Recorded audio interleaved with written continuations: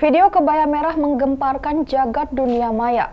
Rekaman hubungan suami istri itu viral di media sosial dengan durasi 9 hingga 16 menit.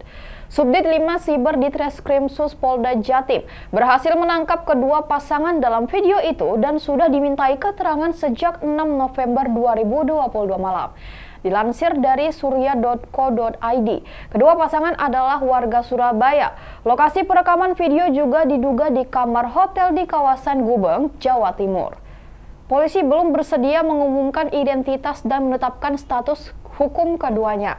Kuat dugaan pemeran wanita adalah influencer asal Surabaya yang kerap menjual konten dewasa seharga Rp50.000 melalui aplikasi Telegram. Ia pernah menjadi pembicaraan publik setelah mendapat pelecehan dari ayah tirinya. Ikuti terus berita menarik lainnya. Jangan lupa like dan share seluruh akun Tribun Medan.